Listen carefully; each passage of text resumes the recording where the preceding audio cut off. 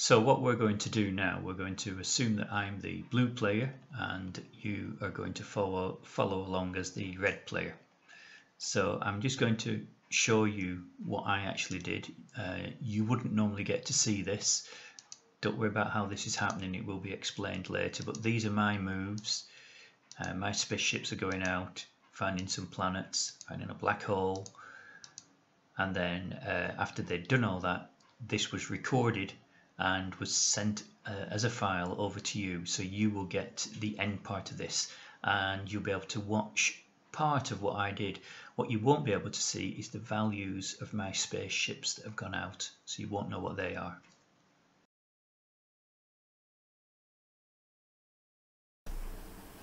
So we're now on the other computer.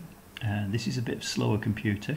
Here's the file, Space Empires 1, and I'm going to download it and um, I'm going to save it into this folder. Ignore those files for now, I'll delete those afterwards. Those were uh, an earlier game I was testing out. Um, so that's now been downloaded.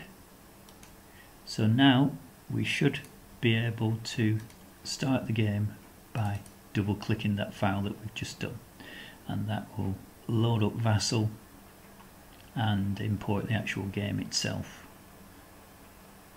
and then when we've got this going we will first of all get the option to uh, play through the blue player's turn to see what they did.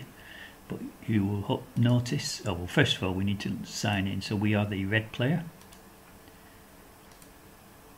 And uh, you'll notice when we do this that the blue player's tokens um, counters rather will be upside down so that we can't see the details of them.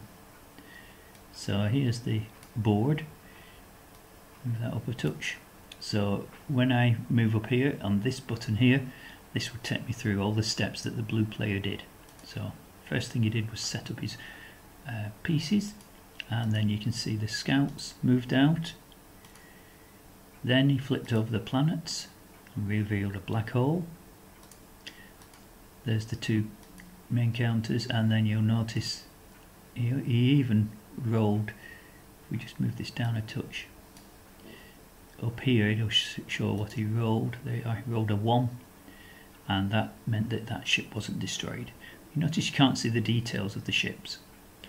Then says do you want to end the log file and start a new one? Yes we do. So we'll click yes it'll ask for a name. So this is going to be reds 1 and we're going to save that. And um, we won't have any comments so now we go down and we actually do red's turn one. So in a similar way that we did last time, we can set up the home world with the right click HW. Those are the spaceships again. Zoom in maybe. And this time I'm going to send these scouts out, one out here, one out here, and one out here. Um, again, I'm not going to risk because there is on one of the red spaces there is a, a, black hole, so I'm not going to risk my colony ships yet. So I'm just going to move to those positions.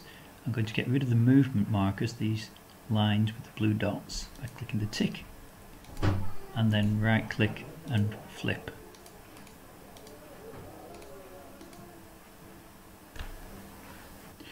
Now one thing on this one that we um, need to do is actually go up here and find the little, there it is, the little clock. This is the turn and that says player 1, it should be player 2. So I've just clicked on the plus, P2, player 2. Okay, that becomes more important later on. So what we've done now is we've moved everybody, we've explored. We're not going to send out any uh, of our colony ships uh, because I don't want to risk them ending up in a black hole. So I go up here and I go to end log file and then this needs to be emailed back to the other player. So we're going to go on reply and um, find that actual folder. Um,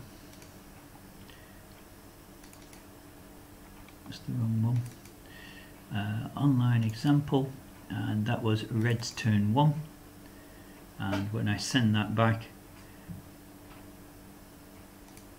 we'll be ready for the next turn on the uh, the other one